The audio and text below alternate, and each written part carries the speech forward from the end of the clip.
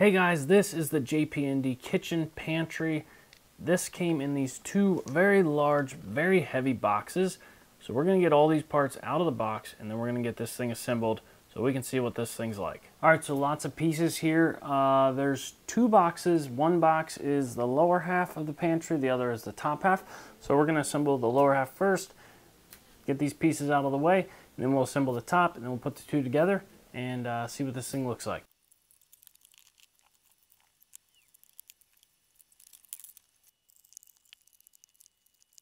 So I got the cabinet assembled and installed here in my office. Uh, the assembly did take a while. It's probably about a two hour long assembly.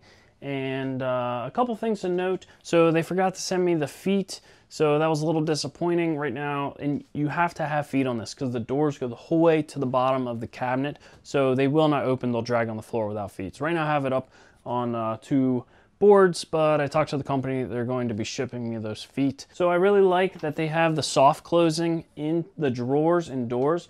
So if you throw it shut, it gets there and then it finishes shutting it nice and slow.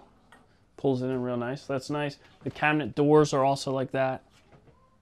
And uh, you can see it just shuts them nice and slowly.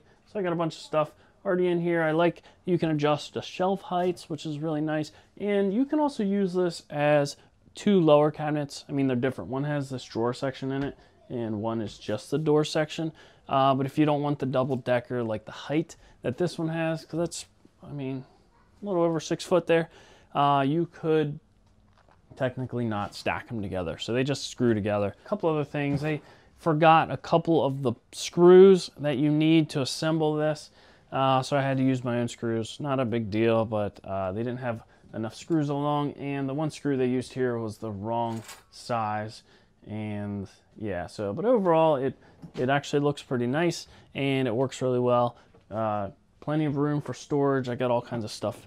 You know I got my rabbit supplies here in the bottom and uh, got some uh, other different stuff up here. So plenty of storage. Uh, it is a little wobbly you can see but uh, they do recommend in the directions to attach it to the wall behind it so you can run a screw through the back and screw it. And if I did that, that would really lock it in place, but not a big deal. It just shifts a little bit when you press on it. So there's a couple things in the directions that were kind of confusing. Uh, you just got to kind of think through them and figure out what makes sense. A couple of the panels uh, weren't cut quietly. I used a razor blade to cut a little bit away so it fit nicer.